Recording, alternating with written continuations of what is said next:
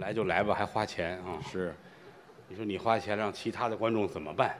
这叫什么话呀？您这这个现场还是喜欢于老师的人多一些。没有没有，听相声的人多，于老师往外一走，好多观众跟这儿啪啪啪干嘛呢？跟这儿鼓掌啊，鼓掌就三声六声啪啪啪，哎，行了，就不用弄这声了。每每到一个地儿，你看这开始了啊。哦，好了，可以了，休息会儿。哎呀，呵哈好了好了，谢谢。趴会儿得了啊。一到哪儿去，好多女观众就都喊：“嗯于老师，我要嫁给你。嘿，”观众爱我们啊，是喜欢，好多女观众都是要嫁给于老师，然后给我生孩子。嗯这是什么追求啊？这都，我倒是省心啊，省哎，对，你倒是费事。那是啊，天涯晴雪多少爱，江湖夜雨是非愁。你瞧瞧，一晃干了这么多年了，嗯，感慨非常。嗯，最让我感慨的就是跟谦儿哥在一起合作，呃，搭档一晃这么多年了。可不是吗？要是没有于老师，我早就红了。嗯 就是我身边难得有你，是吗？这么多年来落魄的时候他在我身边，哦，嗨，应该的，身无分文的时候他在我身边，叫哥们儿嘛，遭排挤陷害的时候他在我身边。两肋插刀。这么多年，特别想问一句话：您说，是不是你方的我？哎，这叫什么话呀？我是没赶上好时候，也是。没有你好着呢。哎呀，玩笑说玩笑，嗯，谦谦君子，您过奖。中国说相声的真的啊，嗯，因为我了解我们这行人，我打小跟这里边待着，就说相声呢，一个挨着一个跪好了啊，哦，你就拿手枪打他们，嗯，反正你要挨个打死吧，啊，有冤假错案；那是。你要是隔一个打一个吧，嗯又有漏网的，哎，好嘛，太密了。都算一块儿，哦，就这一个好人，您太捧我了，您这真的啊就就我一个。就这么一个好人。这么些年来，我说句实在话啊，是是，嗯谦儿哥真是一个真真正正的好人。哎，你这是什么呀？避雷针，啊哎，，好嘛，遭雷劈呀！您怕这是？别别劈了我啊！哎，这说瞎话呢，还是真好，不管是台上还是台下，都是这份儿的。不敢这么说。这么些年来，歌厅没去过，嗨，那地方就不去了，风化场所没去过，到那儿没有什么营养。你还要什么营养？哎，没有你不屁。洗头房没去过，洗头房干嘛去？啊，我不知道哪位去过呀？啊这个好些地儿都有洗头房，嗯一个小房间，啊，坐着一个美容美发的大姐姐，还大姐姐，屋里点着一粉颜色的小灯，美容美发。哎，她屋里连一把一把梳子都没有，她竟然敢说美容美发，哎，这这不是干那个的。顶多她的设备就是一张凉席儿，哦，床。嗯，她愣说她是技师啊。哦，逢这个地儿，谦儿哥打那儿给我闭着眼走，不进去，不知干嘛的，不看。过去了。嗯，人家那敲敲窗户，敲，噔噔噔，这是叫我。哎，女孩喊他哦，玩会儿吧。哎，嚯，啊，这谁玩谁呀？这个 谦儿哥就傻了，啊，多少钱？哎，别问他这，我不我不知道什么地方，我问价儿干嘛呀？单纯善良。啊，德云社还有一个演员叫孙越，呃，就大胖子跟岳云鹏一起说相声那胖子，是比这个桌子还胖。比他宽。他那个裤衩脱下来不穿上，你不知道干什么用的。哎呵，没型儿。大胖子嗯，就爱去洗头房，啊，他爱去，但是这么些年来没进去过，爱去干嘛不进去？门小，哎哈，挤不进去那是，他往外叫人家，人家也不出来。那是啊。这俩人一比，天上地下。哦孙胖子别看胖啊，啊，他那个贼心眼子大，是吗？看见女的就走不动道儿了。我喜欢这个。那回孙胖子开车带着他媳妇儿，嗯，开着车说着话一低头，什么呀？车里有一只红颜色的高跟鞋，得要穿帮胖子这汗都下来了，啊？快呀！怎么着？一伸手捡这鞋，顺窗户扔了，这反应。开车走。嗯一会儿他媳妇儿一回头，嗯，哎，我那只鞋呢？哎，好，给媳妇儿鞋扔了你看这玩意儿，啊？谦儿哥一辈子都不会这样。那那当然刚才说相声那高峰，啊，我们从小一起长大的。嗯，高峰也是心窄。小心眼儿，呵，你看每个人处理感情不一样。那各有各的方式嘛。高峰要说出门演出走五天要了命了，怎么呢？走之前一定把小区的保安都叫来，叫保安干嘛？给钱，给你钱，拿着，不是凭什么呀？看着点儿我媳妇儿每天什么时候出去，哦，监视。家里来有没有客人。哦，演完了回来，保安都叫过来，嗯，每人都给钱。哦，还给。说实话，嗯，这几天我老婆出来了吗？嗨，高老师没有，这 您太太没出来过。就是。家里来过人吗？哦，没啊，来过一个送快递的，嗨，到现在还没下来了。哎，这好，就来这么一个还有事儿，你这，怎么比？嗯，只有这儿啊，君子人，哎咱们不干的乱家里有钱，大伙儿都知道啊。啊，又从来了，小嗯，啊，就别提这个，不用再说了啊。嗯，家里有钱，嗯，重情，主要的就是情义。就这点随他父亲，我爸爸也这样，他们老爷子就是，嗯，眼睛看得见的女人就爱。哎，这叫重情啊！小的时候，哎呀，实在不行了，最后家里给头剃了，啊送到庙里当和尚。这就出家了，他父亲一上午爱上六个上香的女施主，呵，滥情，这点他随他爸爸。我也这样。六岁就爱上了自己的表妹，嗨，那是不懂事表妹叫绿茶，啊。绿茶婊啊，您少来这套啊！这词儿我们知道，表妹说不可以，这小孩懂。你是我的表哥，哎，而且我以后长大了是要嫁给王子的。怎么就非嫁给王子呢？小女孩都有个梦想嘛，长大了嫁给王子。那也说不不定。表妹说，我肯定会嫁王子，怎么说那么死啊？因为我吃饭用筷子拿得远。这拿拿筷子拿得远代表什么呀？民间传说，吃饭的时候拿筷子近，啊，嫁人嫁得近，哦，拿得远嫁得远。这有这么一个说法表妹拿筷子拿得远，啊，就为嫁王子。到后来两根筷子接在一块儿。哎呦，这么长，长大之后果然嫁给王子了。嫁给炸油条的了。哎嗨，也就炸油条用这么长的筷子。嗯一晃都这岁数了。啊，据我所知，谦儿哥在结婚之前只交往过一个女朋友，那也很正常，我还见过，我想想这是吗？叫什么？彪子啊，彪子，是彪我女朋友叫彪子，是王铁蛋的，是叫王，不行，不没有，小名叫彪子，呃，这大名也叫彪子得了，啊你别提那铁蛋了。一脸的护心毛啊，这怎么长的？这是有这么长的吗？两个人好的都不行了，我爱他。花前月下，卿卿我我。嚯，谦儿哥带着彪子俩人去喝奶茶，喝还喝奶茶？对面而坐，捧了一大杯哦，吸管儿，嗯，往呼噜噜噜噜噜是喝呢是吹呢？这个玩儿呗，有这么玩的吗？多恶心！俩人乐啊。嗯彪子问他：“谦儿，嗯，假如我又丑又胖，你还爱我吗哦，？”谦儿乐了，啊，干嘛假如啊？这怎么说话的？这是就长这样是吗？彪子乐了，啊正喝着珍珠奶茶呢，啊大黑珍珠啊，哦，这一下呛着了，哎呦，顺着鼻子眼儿噼里啪啦噼啪，哎呀嗨呀，满桌子都是。弄弄一试去，谦儿乐坏。了，啊。给弄一桌子，是是，我别捡着吃，多恶心呐！这。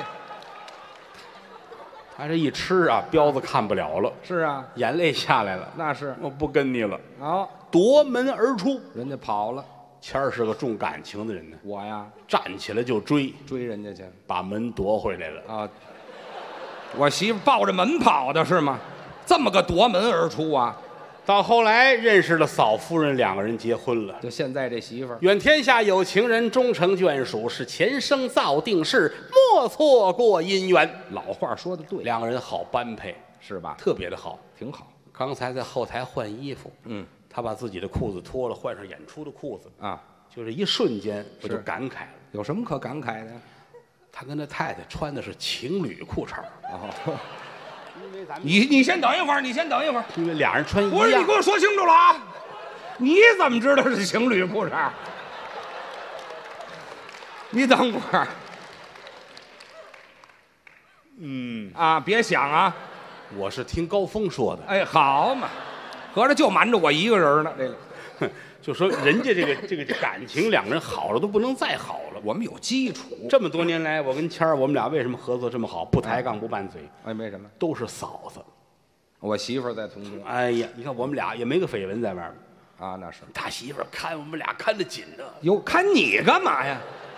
就是怕出事儿，怕？怕谁出事儿啊？真的，有一次我记得印象特别深，啊我跟谦儿就吵过一回架，啊，咱俩为了作品，为了创作，为了一个相声，走在北京的王府井那是热闹所在，最热闹的地方，人山人海。繁华地区。提到这个节目，嗯，我说这个节目就应该像穿衣服似的，嗯，一层一层把它包好，哦观众会觉得好玩儿。哦他说不对，我要像脱衣服一样，哦一层一层的脱，是脱干净了，观众才觉得意外。哦，我说不对，到最后他急了，一定要像脱衣服一样。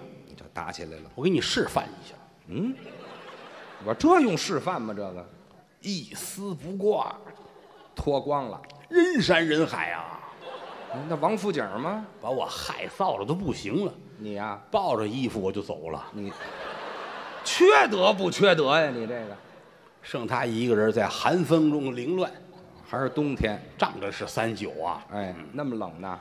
一下冻感冒了，那是，住院了。嗯嫂子给我打电话，啊，你有点过分了，郭德纲就得说说你，啊，你怎么抱着衣服就走了呢？就是，他现在已经住院了啊从感冒转的肺炎，哎呦，你看怎么办？嗯，我说没事儿，我说那个火葬场咱有朋友，哎啊，肺炎就烧啊？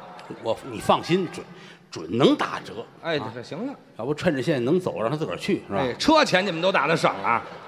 你们太缺德了，这个嫂子说你来一趟吧，啊，上家来我要当面教训你。你得说说，老嫂比母，小叔子是儿，这是老规矩，不得不去。非得去不可。去吧，嗯。到这儿了，敲门，嗯，啪啪啪，嗯，啪啪。你这敲门用点别的声儿不成吗？啪，哎呵，你这趴门上了，嗯，一敲门又打里边出来人了，听声音就是嫂夫人出来。这了，怎么能听出来呢？一边走一边唱歌呢。啊，他喜欢唱，三个月的这个桃花开呀，哎哎哎哎，情人郎你也老没回来，哎哎哎哎，解开了香罗带，我是露出了兜兜来，脱毛裤，对，穿上。什么叫脱毛裤？家里有一个住院的就可以了啊，门分左右一看，嫂夫人，开门就完了呗。嫂子穿着超短裙，什么天儿穿超短裙？在家怕什么呢？说超短裙其实并不短，怎么到锁骨，啊还不短呢？那不是超短裙，那叫假领子，知道吗？上边在锁骨的上面，我们下头在锁骨的下头。还是假领子见嫂子我得规规矩矩的，啊。嫂子好，哎，鞠个躬。嫂子大家闺秀，他说什么？死鬼，嗯，你怎么不上家玩来了呢？玩什么呀？我媳妇儿看得紧，哎，有这么说话的吗？嗯，谦儿呢啊，住院了，乐什么呀？你这进来，快进来，进来，进来啊进来了，吃饭了吗？我说没有。哦好吃豆腐吧，好吗？啊，吃什么豆腐啊？他会炒菜啊，啊，红烧豆腐、麻婆豆腐，炒着豆腐放在这儿，嗯，又给我蒸了一盘金华火腿火腿肉。吃。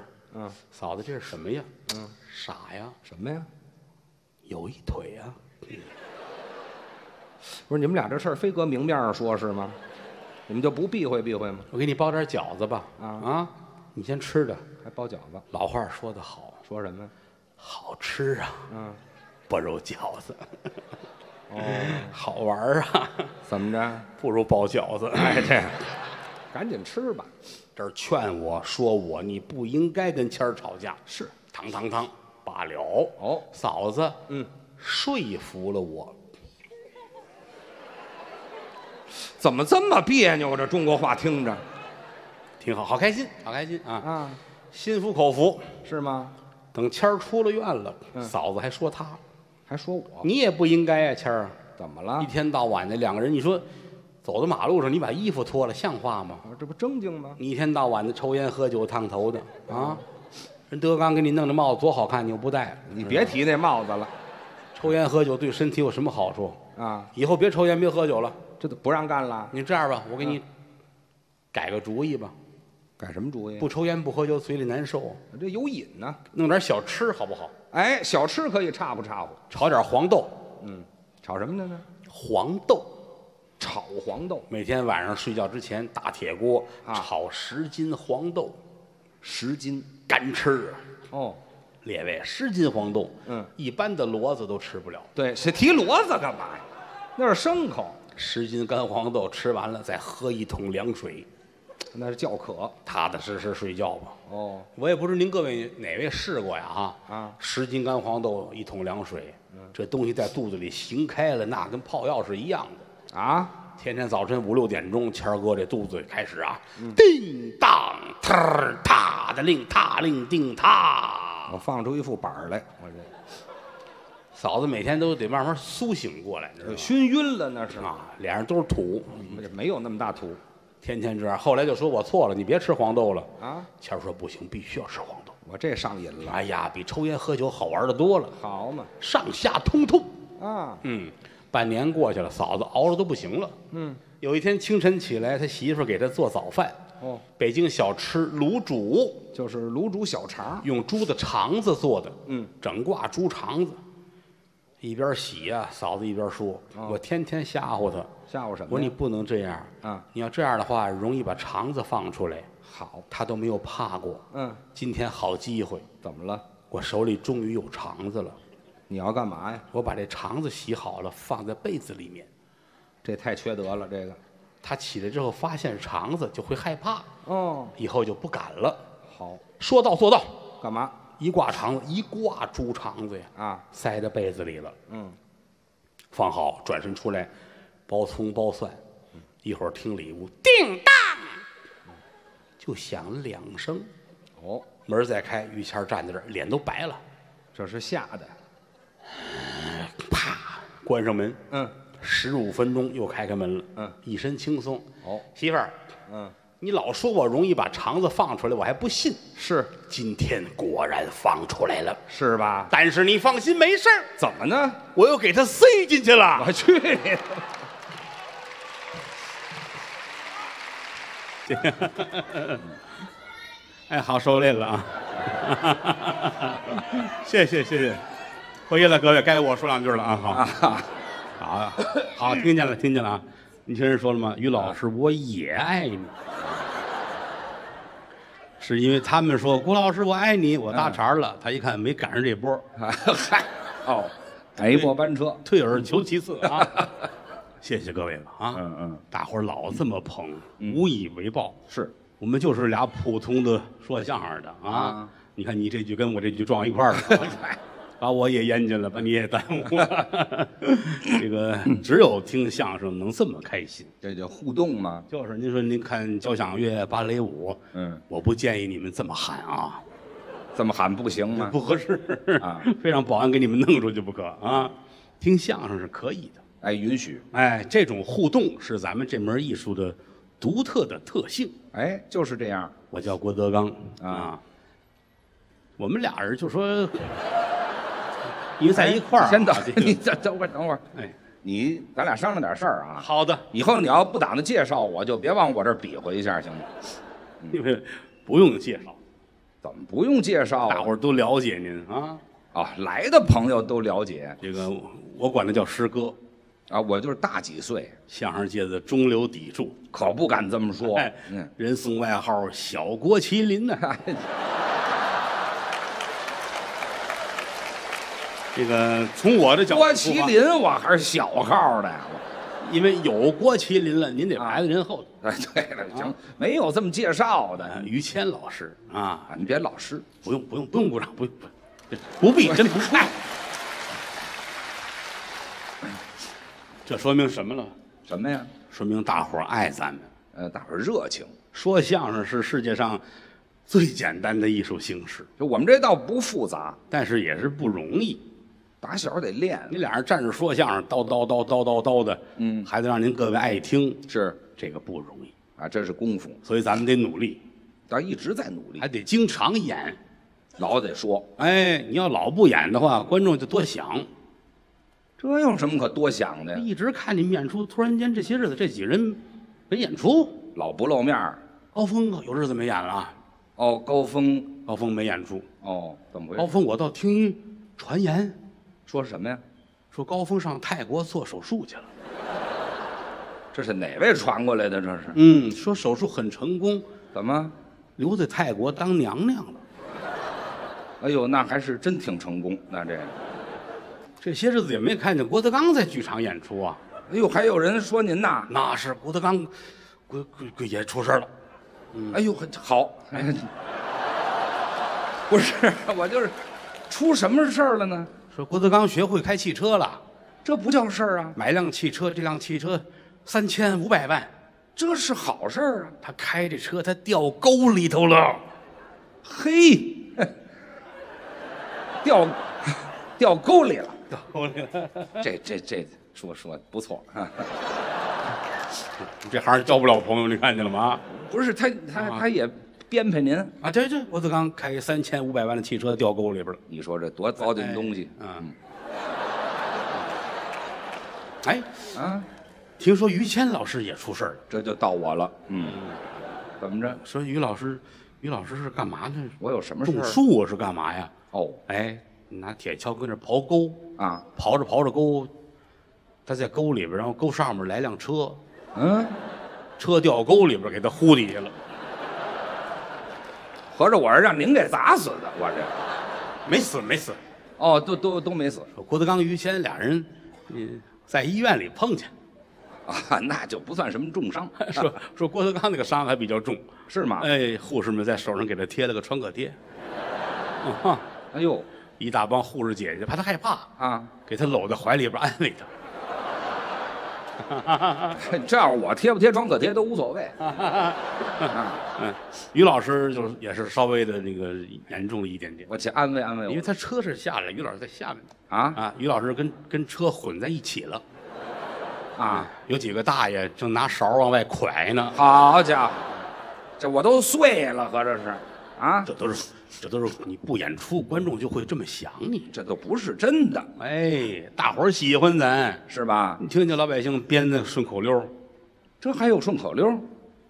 听于谦嗯，不阴天，这你这挺好，你看是吧？听高峰嗯，得永生，我这就更好了。哎，嗯卖了窗户门，啊，听听郭麒麟，好家伙，这真爱听。卖了那个屋的窗户门，嗯，听听张鹤伦，啊，都没有窗户门了嗯，不要爹和娘，啊。听听孟鹤堂，嚯不要干爹娘，啊，听听周九良，嘿哈，这都谁编的？都观观众们热心观众们编的，哪个热心观众编这个？张鹤伦他们编的，哎嗨，哦，都自己编的呀。可不自己编的，谁给你们编这个呀？啊哈，所以说，咱们得好好的说相声，是，跟谦儿哥在一起合作这么多年来，嗯，是我的荣幸，呃，您客气，是我的荣幸。真的，真的，真的。嗯打小我们一块儿，我刚才在后台，我看他这鬓角都有白头发，我看着就是那个滋味儿的。那可不就岁数大了嘛？小的时候那个可嫩了，你知道吗？嗨，这叫年轻。小脸蛋儿一掐一兜水儿啊！嗨，您也是太使劲了，哎，好着呢。是吗？他比我大四岁嘛，小的时候小胖脸儿。是吗？谦儿哥自哎嚯，嚯，你掐在水管子上了。要多嫩有多嫩。嗨，你这什么词儿？一晃都这岁数，看着其实挺不是滋味儿的。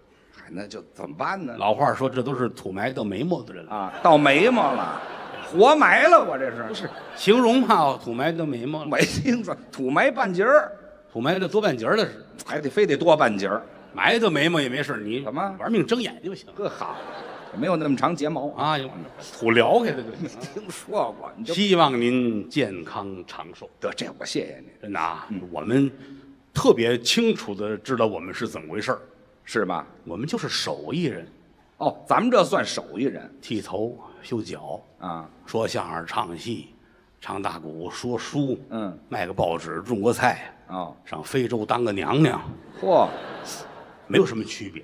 这都一样。人一辈子就是这几十年，嘿，你待着不也得吃饭吗？嗯，你总得干点什么呀？是，说相声是我们的工作，哎，就干这个，又是我们最大的爱好兴趣。这多好啊！爱好跟工作合二为一，嗯，老天爷待我们不薄这是眷顾我们啊！尤其是跟谦儿哥在一块儿，啊。说句良心话，郭德纲的艺术能力一般，水平有限。您客气真的啊，我的艺术在相声里边只占百分之十啊。哟，那那百分之九十呢？于老师和他的家人，好，您把他们都算在里头了。这些年在台上没少说于老师的父亲呐、啊，什么嫂夫人呐、嗨，这这个也是不得已而为之，怎么叫不得已呢？希望大家理解。啊，确实有同行，嗯，老先生们啊，嗯指责过我。他们怎么说您呢？郭德纲的相声就听不得，听不得听离了于谦儿他爸爸就没有活路了。哦，非得说你看看人家那些个艺术家，人家谁的相声里边提过于谦的父亲？啊，凭什么他们都说我爸爸呀？他们爱找谁找谁去我打小啊，啊？七岁开始学评书，我九岁学的相声。哦，八十年代末我开始唱戏，嗯，唱了五年的戏。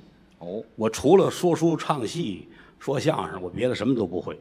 这就可以了。说相声的时候，我在桌子里边站了十年，哦，捧哏十年桌子外边走马灯一样的换逗哏的演员，是吗？谁站这儿谁说我。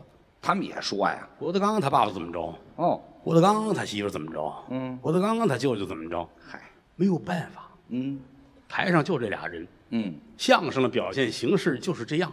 啊，第一，这个故事是我们家的事儿，是一上台来跟大伙儿说一事儿啊，我我爸爸怎么着怎么着了，这是第一种。第一人称第二种就是于谦他爸爸怎么着怎么着了，啊，就旁边这位吗？没有办法。嗯，如果说第三人称，那这俩说相声太外行了。不能这么说吗？今天我们两个人说段相声，啊，可以。给您讲一个人呢，这个人家住在山东省济南市幸福大街光明小区，进小区往右拐，上二楼有一王大爷。哦，你看这俩说相声这么干，嗯，这俩人就外行了都不行了。这不能这么干吗？你看，给观众人为的制造了麻烦。怎么叫麻烦呢？山东省济南市俩观众就聊天，你去过山东吗？啊，我去过，哦，我喜欢山东的刀削面。嘿，你糊涂那是山西。啊，山西不是刀削面，还有那个宽条的那个大。哎呀，你说那陕西，哦，他俩人四十分钟聊面条，也是气迷心，我说的什么您全没听见。反正是耽误了我让观众想他在琢磨幸福小区、光明大道啊，上二楼王大爷，这俩人太外行了就。都支出去。我们要求的是一句话，您就得进故事当中来。哎，我们要快，于谦他爸爸，简单，这倒是真快。那错不了啊！而且这个你观众也能理解啊演员也没有什么。嗯，当然说手势很重要啊，是吗于？谦儿他爸爸这不行，这不可以。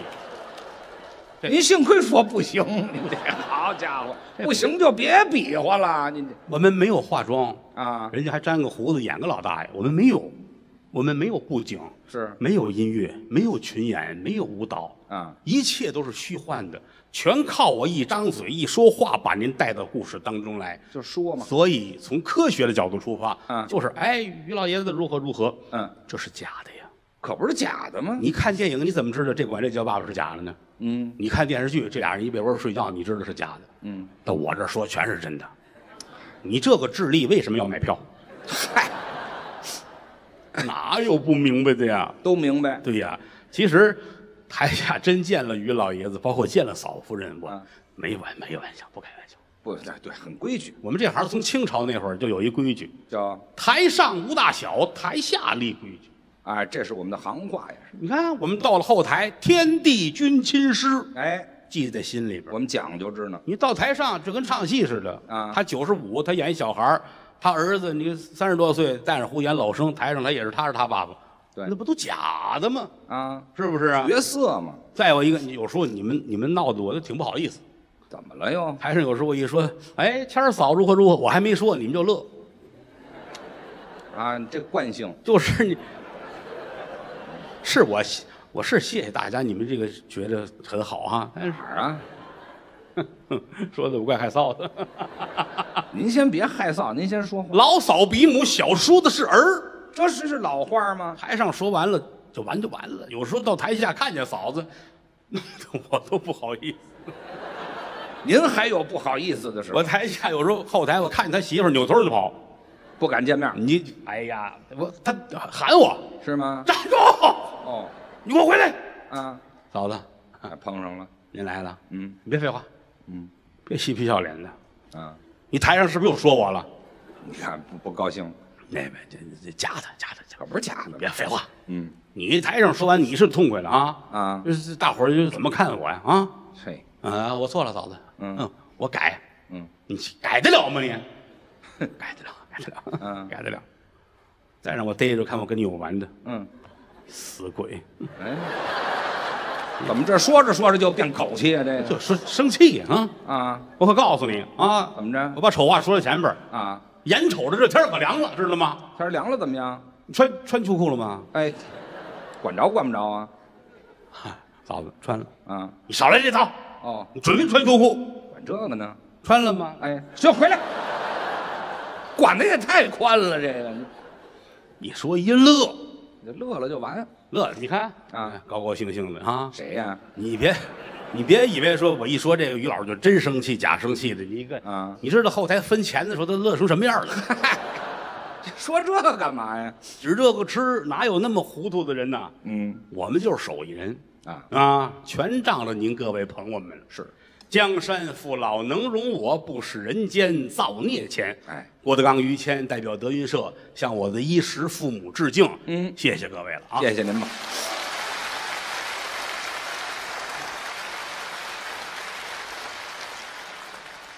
没有工作，也没有工资，全靠着卖票了，演一天吃一天。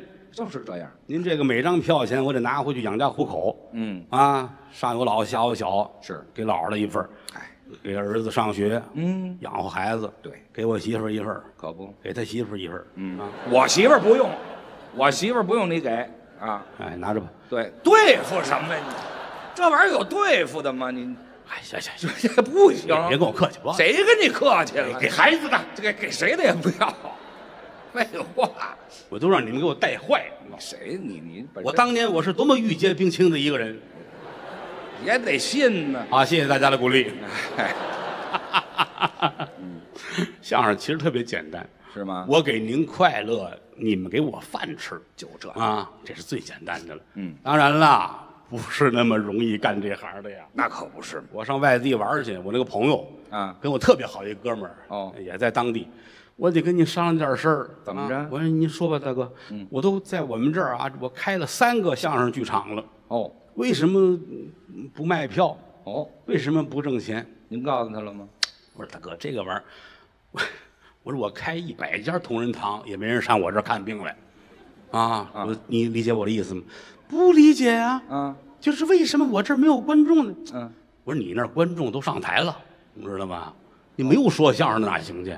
这个玩意儿不是这么简单，他得从小学。嗯你老师教一教教一百个孩子，最后可能就落下三个五个的，嗯，成才率很低。是有的从小也学，学到最后，哎呦，都五十了，这才通知他，你可能不适合从事这个工作，就这行太害人了吧？太难了。你看，你包括于老师到现在，我们都没通知他。嚯，好家伙，就我不适合是吗？说相声四门功课，啊脱鞋就唱，啊，脱鞋唱啊，叫什么？说学逗唱，说学逗唱，对，说这个嘴里头得干净。这是我们的功夫。无论您坐在剧场的哪一个角落，每一个字儿，嗯，清清楚楚送到您的耳朵边儿，哎，让您听清楚。得听得明白。你不知道说的是什么，葡萄拌豆腐一嘟噜一块，这是干不了。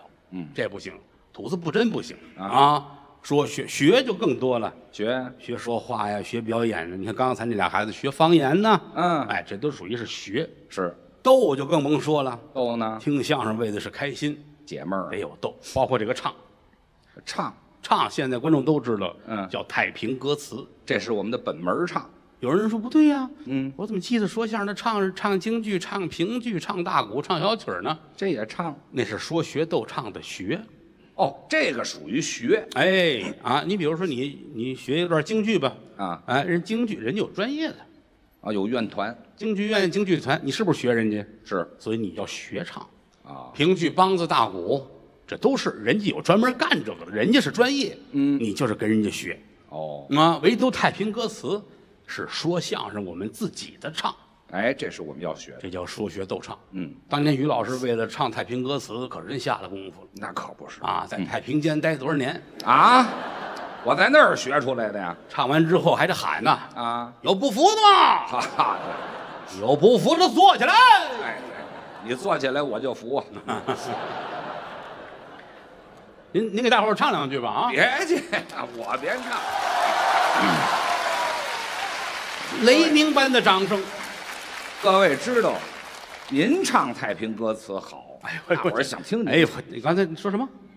爱听啊，是怎么着？您这没听见什么？您唱太平歌词好啊，下过功夫什。么啊？哎，不是，还非得再说一遍。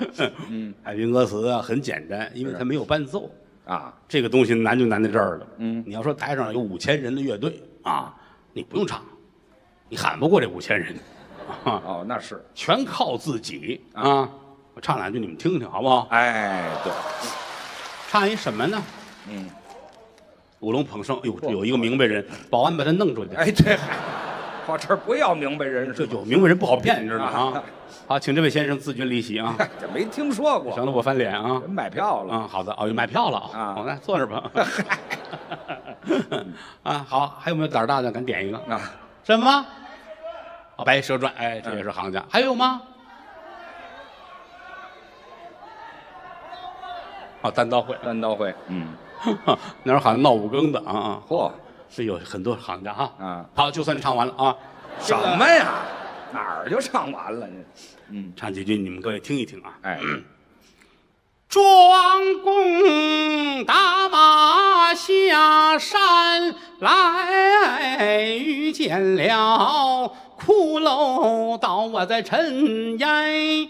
庄子修一剑发了恻隐，身背后摘下了葫芦来，葫芦里倒出来金丹一粒儿，那半边儿红来半边儿白，红丸儿指的是男儿汉，不要粒儿指的是女裙钗。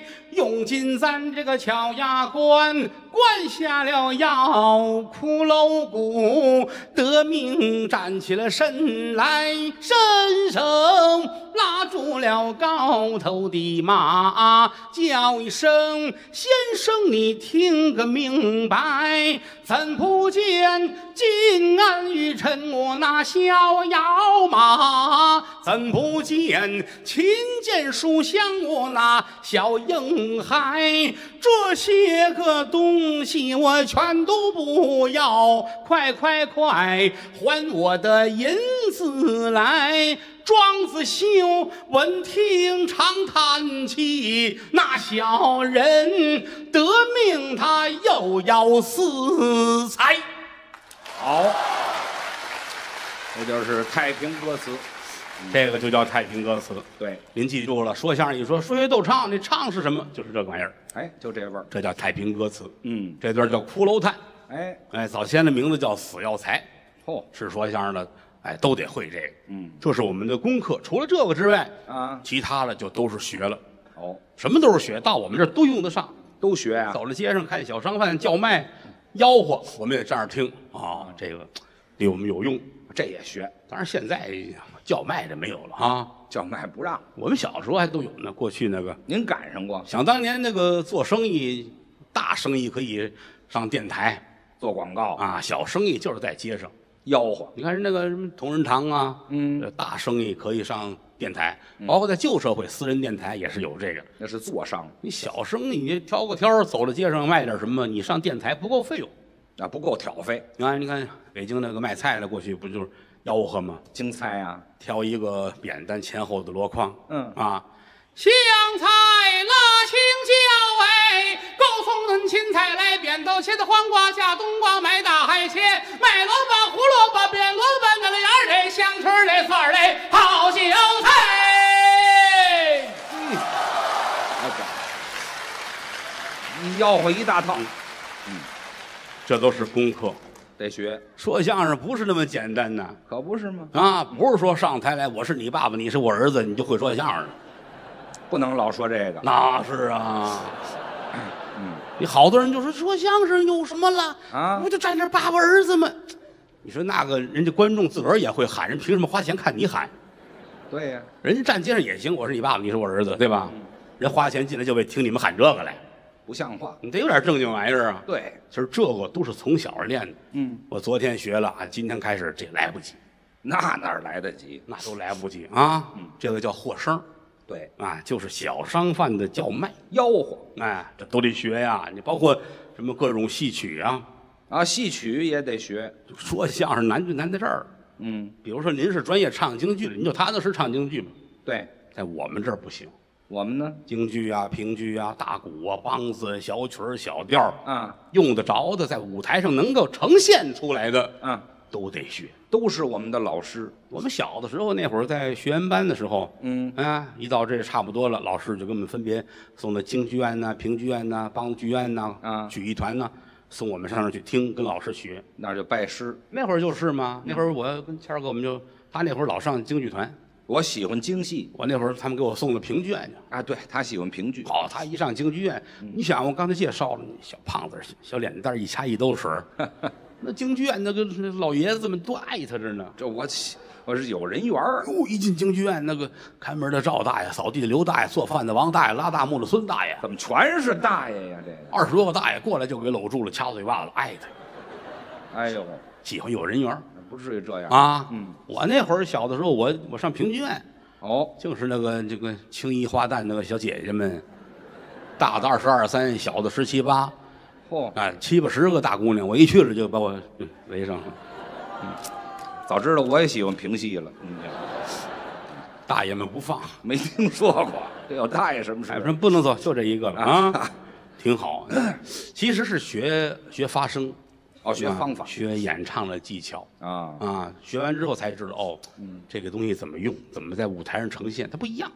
啊，有区别吗？我们说说相声难就难在这儿，嗯你要学一样，比如说你就专业在梆子剧院，你就唱梆子吧。啊，但是你要说让他唱评戏，再唱京剧，他唱不了，方法不一样。方法不一样，这这位置不，你比如说梆子，哦，梆子怎么着？那比如说梆子，梆子唱梆子，河北梆子啊，啊，梆子老生演员，哦，那你就听，你就看他的发音那个位置。啊，咱就一句就行。你比如说男老生跟女老生都是老生，都是一样，你就感觉说这两种技巧。您您唱一个。不是，你看他女老生调门也高啊，哦哦啊，嗯，怎么句？可说是我的儿啊！他是那么个低了这个劲儿，女老生调门高，我也是欠。他这个梆子里边，他很难解决就是男女同调的问题。还有男女同调。男老生，你看跟这女老生不一样，啊，这个调门儿一般男老生唱不上去。哪调门？就刚才咱们说了，就这一句啊，女老生这句调门儿，这男老生唱不了你不用那么高了。啊。就他不是男老生也得唱戏呀，也得活着呀啊所以他就发明了一种，你比如说有一老生前辈王庆林，哦，艺名叫银达子，这大有名儿。他唱这个他就是半说半唱，哦，能说。哎，然后拔高的地儿呢用背公音，怎么叫背公音？就是假嗓子，前面说后边唱怎么说？啊。啊，可说是，哎，你看前面这仨字儿说他不唱，他说。好。可说是嗯，我的儿啊！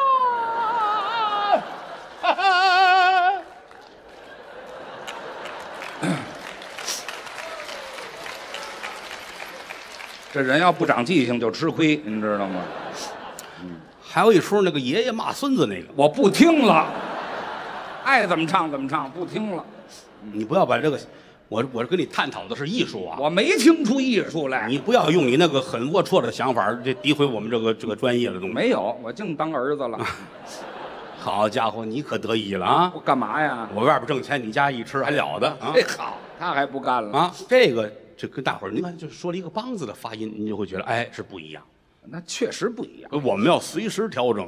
啊。你看说相声站台上唱什么，唱个歌，唱个什么小曲儿什么，其实嗯，都必须熟练的掌握这些个技巧。那就得练啊你看，包括好多小曲儿，啊！之前德云社咱们唱了好多，什么找花台啦，什么大西厢啦，什么这些个了啊。啊其实这些小曲儿好几百种，那么多呢，好多都已经失传了。这些年我没少干，我净整理这玩意儿了，您这是贡献。我已经整理了一二百个了嚯，啊！好多小曲儿，有的都是明朝流传下来的，元朝流传下来的。哎呀，这东西你要再不弄，它就没人会了。这失传了正可惜，这竟是我小的时候，七八岁儿、八九岁儿，啊老艺人还健在，我就愿意问人家教。哦您记得不记得我总唱那个《休喜红》？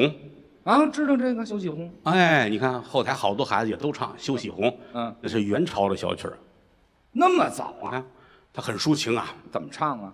往外迎，往外迎，满腹凄凉，草木凋零。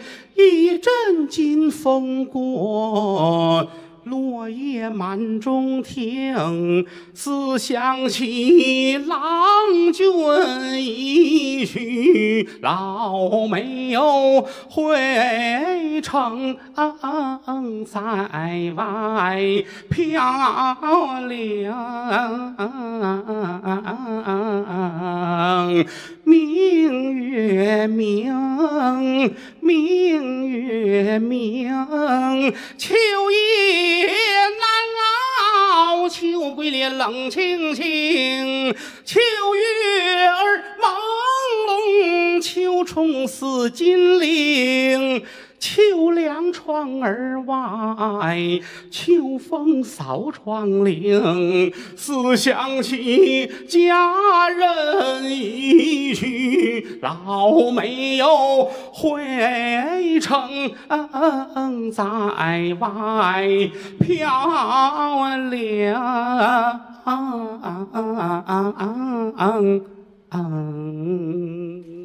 嘿，真有点意思，这个小曲儿叫《休喜红》，好，真好。这是元朝的牌子。嗯。啊，在明朝之前、清朝之前，嗯。在元朝，为什么叫休喜红呢？啊，你看我我唱这段唱好多年了，是。好多观众也会唱，没有人知道为什么叫休喜红。那您给解释解释。这个丈夫要出门去做生意，临走给媳妇儿留了一块红绸子，哦，你就攥着它，就如同看见我了。嗯。有一天我就回来，这是念想。丈夫一走，好多年没回来，媳妇儿每天拿这块红绸子红布舍不得，哦，天天拿着，后来就脏了。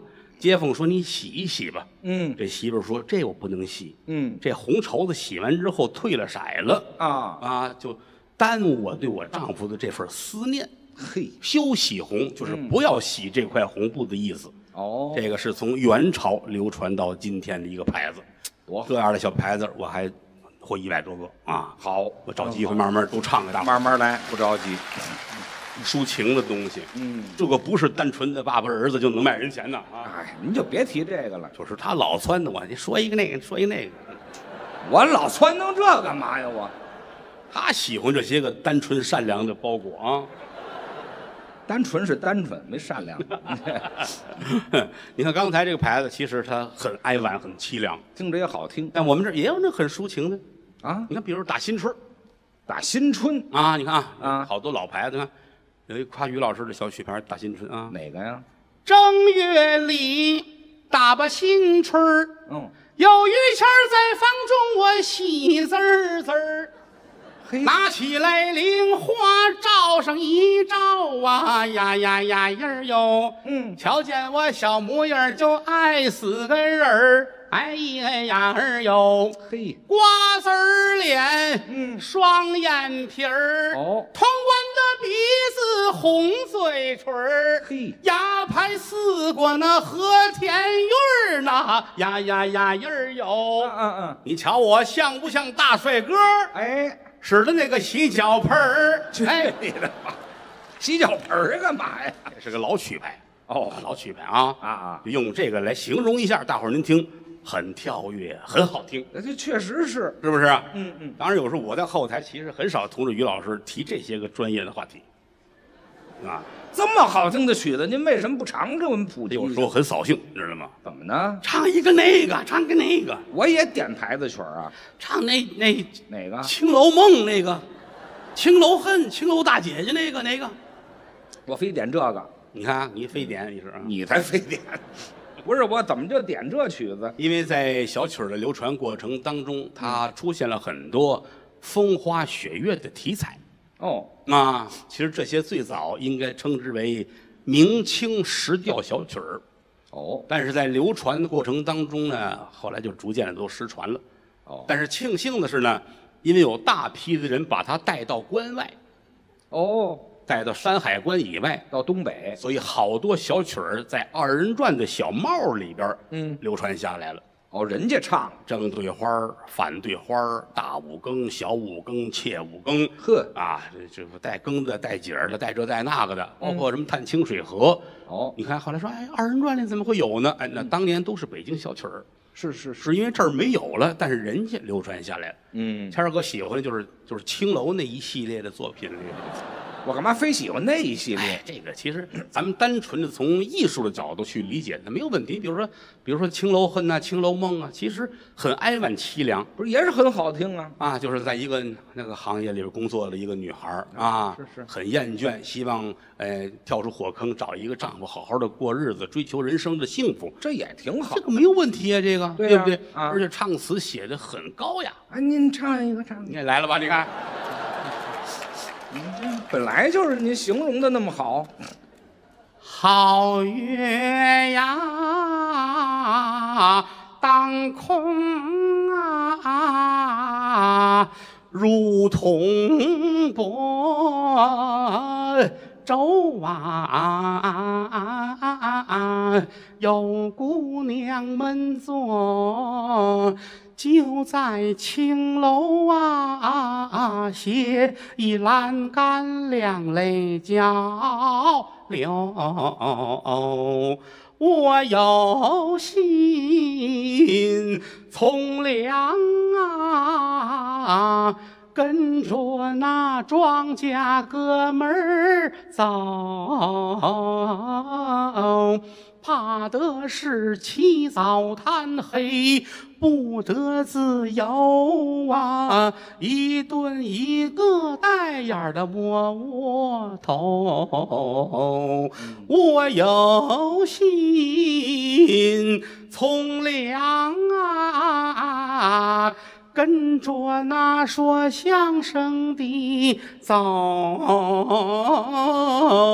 怕的是浪迹天涯，不得自由啊！他抽烟喝酒，还要烫头。说我的。